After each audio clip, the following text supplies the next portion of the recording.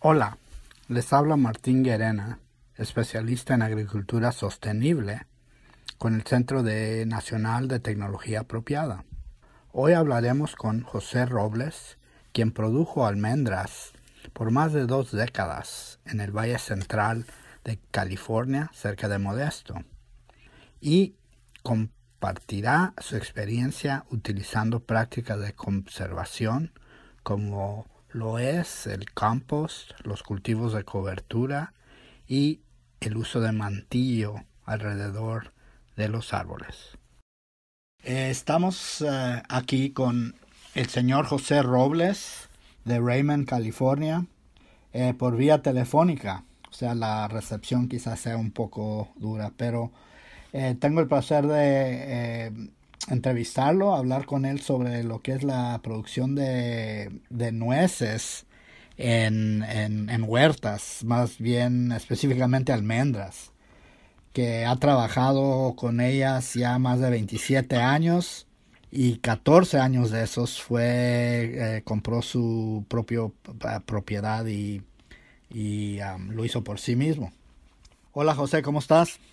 Ah, muy bien, Martín, buenas tardes. Buenas. A ver, empezamos eh, eh, con las prácticas, lo que le llaman prácticas de conservación, ¿no? Que vienen siendo prácticas que mejoran la salud del suelo, el medio ambiente indirectamente, eh, cosas como el uso de compost o cultivos de cobertura. Son dos de varios, pero ¿nos puedes explicar eh, ¿Qué prácticas de conservación aplicaste en tu huerta y, por qué? Así era, Martín. Ah, con nosotros comenzamos poco a poco a ir haciendo cambios, desde ir dejando un poquito fuera los químicos, lo menos posible que se usaran. Ah, comenzamos a, perturbar menos la tierra, eh, ah, porque teníamos la costumbre de usar el disco entre la entre la huerta, entre las líneas. Sí, lo, que le llaman labranza, ¿no? Para las malezas y, abrir el suelo. Sí, e, era muy común que hiciéramos eso y empezamos a dejar eso y a, moler más el, el, el zacate que iba saliendo en vez de disquearlo o en vez de quemarlo con, con herbicida, pues empezamos a, a molerlo. Y, y luego también la, una de las cosas que empezamos a utilizar fue, fue estiércol de animal, de vaca, de caballo, de palomo. Y, luego también empezamos a, a introducir lombrices en, ahí en la tierra. O sea, sí, lo que es aumentar la materia orgánica. Sí, sí, como le empezamos a meter más materia orgánica, ocupábamos que se, que se desapareciera para el tiempo de la cosecha. Y eso sería, sí, o sea, ponían todo eso en, la huerta, que en la primavera, ¿no? Por el, verano y para el otoño que iban a cosechar ya estaba descompuesto. Sí, que hubiera lo menos, lo menos materia posible por encima. Ah, y luego como también las podas, en vez de en vez de quemarlas, las empezamos a moler. Qué bien.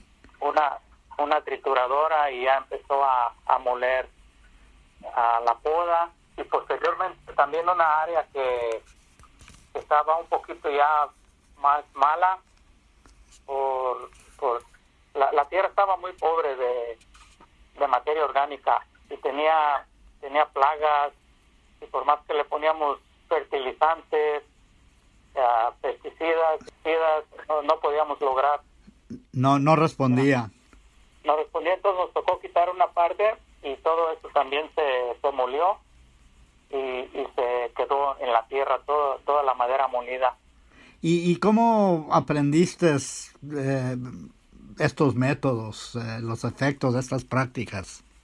Ah, pues unos ya teníamos idea ya de conforme fuimos creciendo o mirando unas cosas que nos fueron a, pues por la práctica pero también teníamos unas prácticas muy malas y la mayoría los cambios que hicimos fue de que como nosotros habíamos sacado el permiso para quemar el zacate, para sprayar, quemar zacate, entonces nos obligaban a ir a las pláticas para mantener la licencia. Es más, era, era, mi esposa había sacado la, la licencia, entonces ella iba a las pláticas. Sí, el, el permiso, tienen que tener eh, educación continua. Qué bien, y eso fue ahí en, en, Modesto, ¿no? Con la universidad y el, y, el conservación de...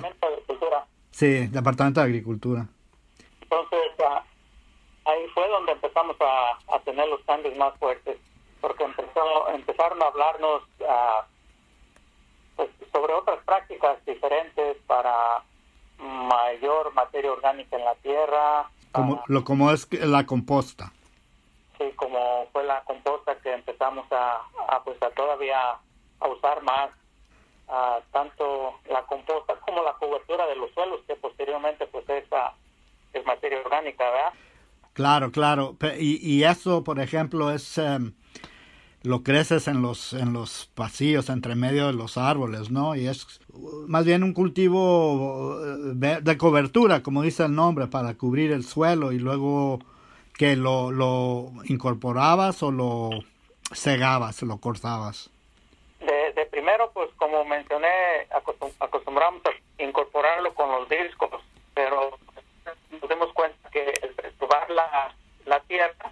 Casa, casada daño Sí, porque empezábamos a, a matar pues la bacteria, el hongo y, y luego a la vez al abrir la tierra pues escapa la humedad y el carbono. Y eso pues lo aprendimos ahí también en las, en las juntas, en las reuniones. Pues ya ahí nos fueron ah, dando muy buenas ah, ideas con, con, el, ah, con, con los programas de ¿Y, cómo viste que, que respondieran los árboles? ¿De qué manera? Em, empezamos a ver cambios muy, muy, muy positivos porque em, empezamos a usar menos químicos. Ah, qué bien. ¿Y te ahorrabas, te ahorrabas dinero? Nos ahorrábamos dinero en, en, en los abonos, en los pesticidas, en los fungicidas, en los herbicidas. ¿Y la producción? ¿La producción seguía igual? no, ah. seguía un poquito mejor. Un poquito mejor, ah. porque normalmente dicen que cuando uno empieza esas prácticas que por lo general eh, producen menos, ¿no? Como lo que es las fincas orgánicas. Pero realmente no es cierto, pueden producir igual o mejor que, que muchos uh, producción convencional. Sí, sí, nosotros, nosotros comenzamos a, a usar estos cambios y la producción fue mejor. Te mencioné que una parte que tumbamos de la, de la almendra ah, fueron fueron el, el 20%, casi el 20% de, de fuerte chica, pero de todas maneras, para hablar de porcentajes, usamos, tumbamos el 20% de la huerta y la producción continuó siendo igual. Ah, o sea, menos árboles. Menos árboles y, y la producción igual. Fue el primer año. Y esos árboles los reciclaste, ¿no? Los, los eh, desparramaste así en viruta o arcilla, ¿no? Por toda la, la finca. Sí, sí, la, ahí, ahí, en esos mismos dos acres que tumbamos, ahí regamos toda la madera molida. Y ese también fue un programa de, de para el medio ambiente, que pues nos dimos cuenta también por medio de estas reuniones. Sí, Omar, Rex, pues varias personas que ahorita... Sí, de, de NCAT y del Departamento de Agricultura. NRCS, Departamento de Agricultura, a que nos estuvieron asesorando, estamos haciendo sus cambios. Cuando, cuando tumbamos la huerta esa con el con nuestro asesor de, de químicos, pues nos habían dicho que tumbáramos la huerta y que después fumigáramos el suelo, porque había muchos nematodes Nemátodos, sí. Eh, entonces, eso nos estaba causando que los árboles no, no absorbieran las sustancias, la nutrición, el agua, y luego posteriormente sembrábamos árboles y, duraban un año o dos y luego se secaban. Entonces, viste que, que combatió la plaga de, de los nemátodos y se pusieron sanos los árboles.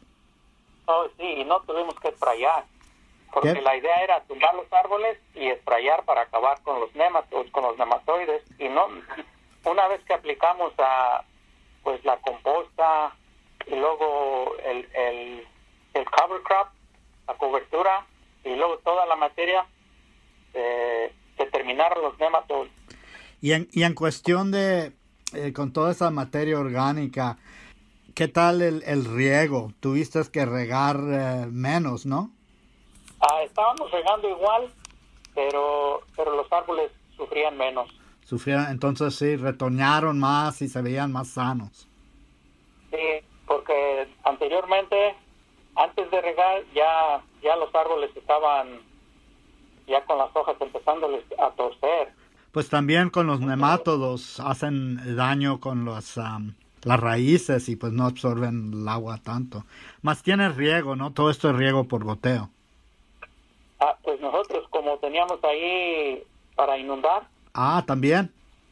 O sea, nada más eso teníamos. No teníamos goteo, no teníamos sprinklers, era puro riego tendido. Eh, y, y luego nada más teníamos cierta cantidad de agua al año. Entonces teníamos que esparcirla cada tres, a veces cuatro y en ocasiones hasta cinco semanas para poder regar. Entonces muchos árboles ah, se notaba que estaban ya sufriendo el, el estrés de, la sequía. ¿Y, y cambiaste, no, no pusiste um, riego por goteo? Ah, no, es, es, esa práctica no la alcanzamos a implementar, es, fue demasiado caro para nosotros. Pues sí, sí hay, eh, ahorita sí hay apoyo, subsidio, ¿no? De una manera uh, para pequeños agricultores también que quizá puedan hacerlo. Tú um, estuviste ahí, como digo, bueno, de 14 años dueño de la de la huerta esa, pero te recientemente te cambiaste, ¿no? A, a lo que es Raymond, uh, California, cerca de madera. Y ahí el lugar es muy diferente, ¿no? No, no es en el valle, está un poco más elevado, ¿no es cierto? Así es, aquí estamos en las, uh, en las montañas, donde comienzan las montañas, se puede decir. ¿Y, ¿Y qué piensas hacer ahí? ¿Entrarle a la ganadería? Aquí el terreno parece que solamente para pastoreo. Para pastoreo, qué ah, bien. Sí, si Dios nos da licencia, vamos a a tratar de, hacer eso, pues estamos empezando, pero es cosa nueva para nosotros. De, árboles a animales. Sí. estamos aprendiendo y, vamos a empezar poco a poco. ¿Y, qué, qué clases de ganado piensan tener? Pues tenemos un par de borregas y una chiva. Ajá. ¿Y aves no piensas poner gallinas o algo? Sí, las gallinas sí, ya las, ya las teníamos y nos las trajimos aquí también y, y ahí, ahí, andan. Ah, qué bien, qué bien. Y entonces, y, y, y con los animales, pues, ¿qué prácticas de conservación piensas aplicar a, esa operación? Aquí lo que podemos hacer, yo creo que es, a, se puede poner cobertura para que haya más variedad de, de vegetación y luego también se puede poner composta, para retener la humedad. ¿Cómo no? es, es, buena, es buena inversión eh, poner eso, porque muchos dicen el cultivo de cobertura no lo vas a cosechar y estás gastando dinero, diokis, pero no, las ganancias que te ganas después son, son tremendas. Ajá, no, y todo, todo se puede cosechar, yo creo que a todo se le puede sacar dinero. Y, si es cobertura, pues vas a tener una chiva, una borrega, ya van a ir a comer. Y, y luego además puedes tener, a, como aquí mi esposa quiere tener abejas. Ah, también, ah, qué bien. Entonces al haber más variedad de plantas, va a haber más flores. Seguro. Van a, van a tener más que comer las, las abejas. Eh, lo que también queremos hacer es poner más árboles porque hay muchos espacios muy secos. Pues a esas elevaciones ahí sí, sí dan, eh, por ejemplo, manzanas y, y otros frutos, ¿no? Que toleran el frío un poco más. Pues aunque sea de los mismos que hay, aunque sea encinos, aunque sean... Ah, naturales. Sí, el caso es que haya sombra, porque notamos que donde hay árboles, crece más zacate. Ahorita se nota bien fácil. Porque más, más con estos solazos que, que hacen en el verano y ahora con el cambio, ¿no? Climático, las temperaturas y pues hay más estrés en las plantas y pues cualquier forma de, de, sombra o como refrescar la planta beneficia. Sí, sí, hasta unos pinos, vamos a, aquí hay unos cuantos pinos, entonces a ver si de estas mismas semillitas que tienen los pinos, de ahí mismo ponemos estos mismos. Ah, qué bien. Pues parece que estás aplicando tus um, eh, lo que aprendiste, lo que es eh, sostenibilidad y agricultura regenerativa en lo que era la huerta, pero la estás traspasando a tu eh, producción que va a ser de, de, animales, ¿no? De ganado, de ganado. Ajá. Sí, parece que ya una vez entrando en esto es, un estilo de, de vida, no importa lo que uno haga. Exacto. Pues qué felicidades, me, qué gusto me da. Gracias, gracias, gracias. Uh, y un pues, comienzo nuevo y... ya, pues aquí nos despedimos de José Robles, eh, que pues ya es agricultor y ganadero. Y pues estaremos en contacto y ver ya que estés establecido otra vez, eh, ¿qué nos puedes contar? Claro que sí, Martín, es una experiencia nueva, y pero estamos a gusto y muchas ganas de, de progresar y seguir adelante algo nuevo gracias a todos ustedes por su apoyo que nos han dado. Ah, cómo no, pues es, es para eso estamos, a sus órdenes. Hemos, aprendido mucho de ustedes y ojalá sigan echándole ganas. Qué bien. Eso es todo para este episodio. Gracias por escucharme. Puede encontrar información adicional en las notas. Por favor, deje un comentario y no olvide suscribirse. ATRA, Voces del Campo, es producido por el Centro Nacional de Tecnología Apropiada en su sede en Butte, Montana, con el apoyo del Servicio de Cooperativas de Negocios Rurales del Departamento de Agricultura de los Estados Unidos, o el USDA, como parte del Programa de Agricultura Sostenible ATRA del Centro Nacional de Tecnología Apropiada.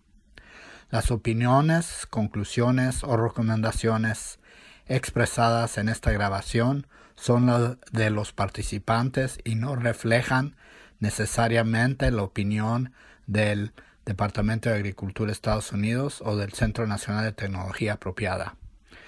Nos vemos la semana que viene y hasta entonces sigan cultivando.